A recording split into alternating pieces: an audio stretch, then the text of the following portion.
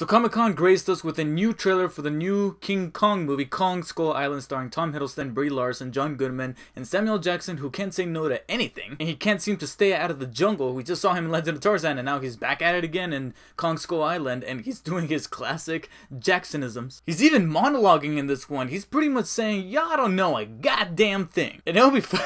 And it'll be funny if just like in Deep Blue Sea, he's giving his monologue, he's rising up, he's getting powered up, he's he's hyping himself up, and the rest around him, and this all of a sudden King Kong comes out of nowhere and just grabs him and eats him right in the middle of his speech.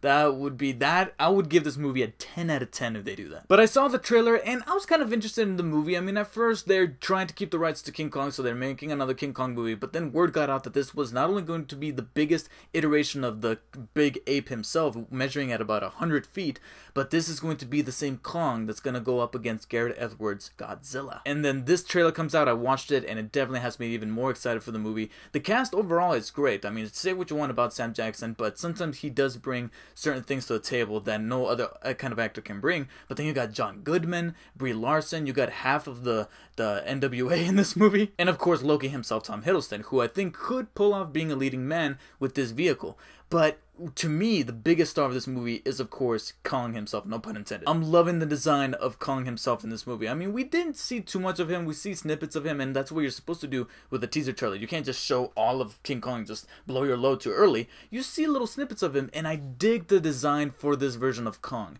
A lot of people don't, but I like how they're harkening back to that original 1933 King Kong, where, yeah, you can tell it's a claymation doll from that original 1930s version, or even the dude in the suit later on in the 1970s, which is actually where this movie takes place in.